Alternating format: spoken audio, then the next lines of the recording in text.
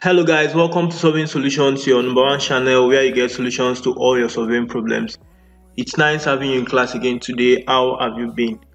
It's alright. Um, for some time now, we've been asked how to design um, contour or how to create contours with um, AutoCAD Civil 3D, and then we found it um, imperative to make this video to show you how you can actually create contours with um, AutoCAD Civil 3D okay um on the channel we already have videos on how to a video rather on how to use um contour how to use Surfer rather to create contours and to create contours or how to create contours on Surfer.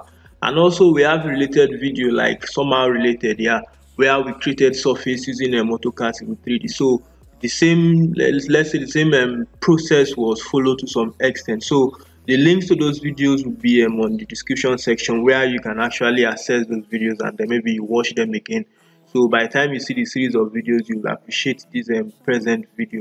So before we continue please if you're coming for the first time um, help us um, encourage us by subscribing to the channel and turn on your notifications so you'll be the first okay among the first set of persons to see when we um, upload our awesome stuff. And if you're coming as um, a subscriber thanks for always checking on us. All right now let's show you the data we want to use today.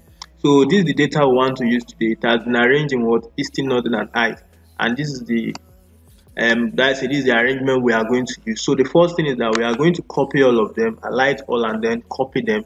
So we do what? We paste them on notepad or we paste on notepad.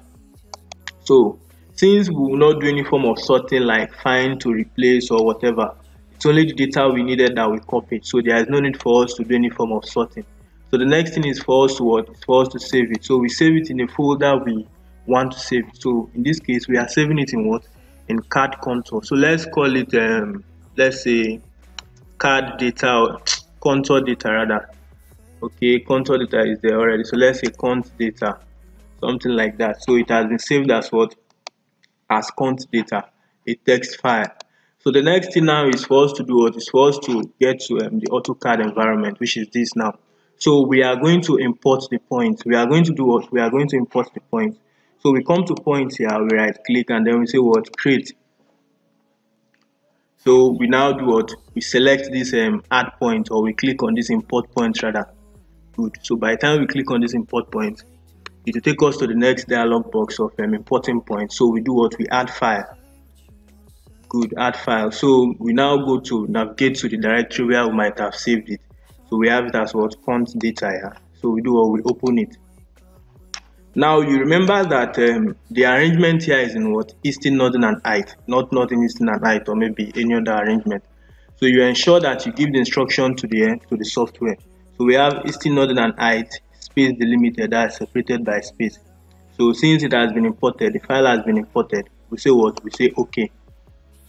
And then we can do what? We can close this other, um, can close that tab. Now the next thing is for us to wait for the points to come in depending on how fast our systems are good. The points are in now.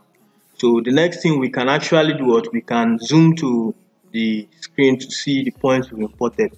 So how do we do that? Since the points have been imported, we can actually use them um, the Z enter, E enter, which is um, zoom extend. So we have what Z enter and what E enter.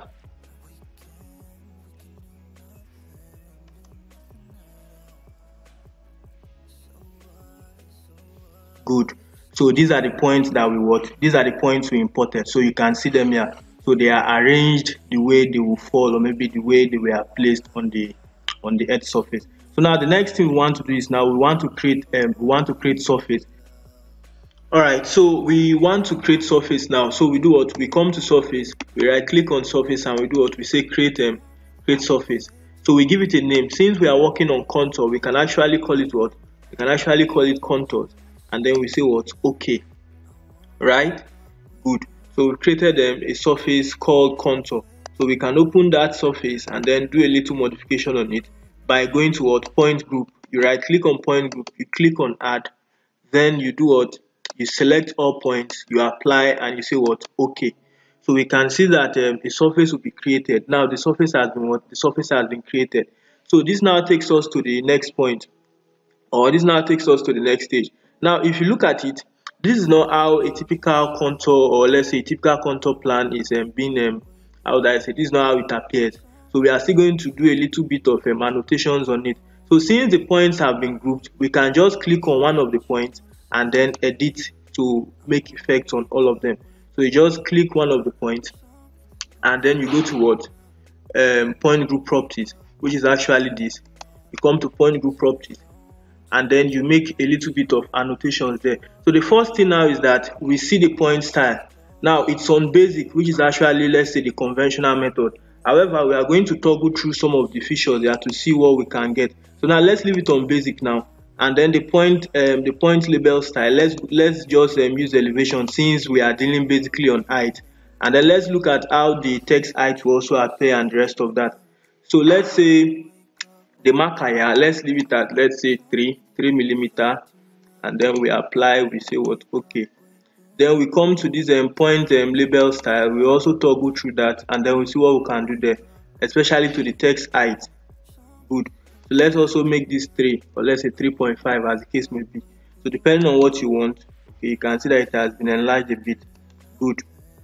So what will happen now is that this will now appear on the surface of what we've created. So apply and what and um, okay. So you can see now that instead of seeing all those points you are seeing their elevations being um, let's say also described or the elevations being depicted on them as well. However as i said earlier this is not how we are going to leave it. So we still do what? We still select one of the points. We come to what? Point group properties. And then on point group properties we define how we want to get the point style we don't want to see any. So we go to none and then even the point elevation style we also go to what? We also go to none. So we apply and then we say what? We say okay good. So you can see all those annotations have been um, removed or let's say if we call it a layer we've actually closed that layer of annotations. So we only see the contour lines. We only see the contour lines. Now this again is not how the contours should appear because you know contours should have values. So the values are not here. So the next thing we want to do now is that we are going to would I say edit it and then add label to it. So this takes us to the next stage. The next stage is first what is to click on the surface as it is like this. Click on the surface. When I mean the surface, I mean the diagram because we are now seeing it as a surface. And then you come to what? You come to add labels. Add labels. You click on add labels. Now there are different um, other functions here. And one of the functions you are going to consider is what? Contour multiple. So you do what? You click on contour multiple. It says um, create contour labels between two specified points. So we are going to pick one point and we are going to pick another point and it's going to give us the label between those two points. So we are going to see what? Just click on that. It takes us to where we can do it now.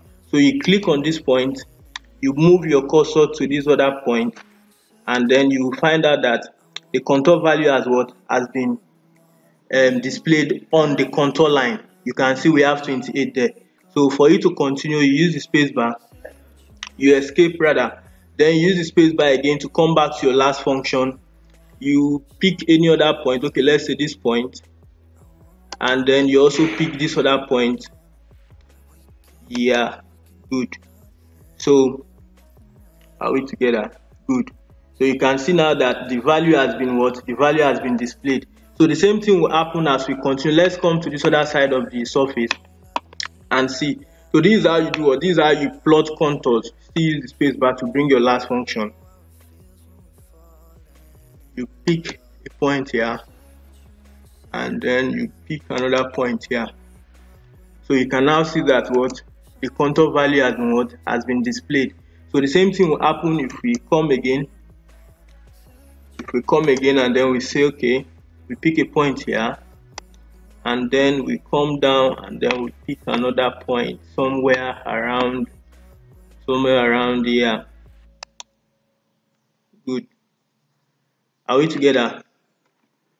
So the contour values have been what? Have been depicted here. So this is how you go about creating contours using um, AutoCAD Civil 3D so by the time you watch videos on how to use and you watch the video on how to use a um, AutoCAD Civil 3D, depending on what your client needs, depending on what you need, the scope of the project or whatever the case is, you can decide to use any of the softwares to do what to create your contour. So you can still do so many things. You can just click on Geo Surface again.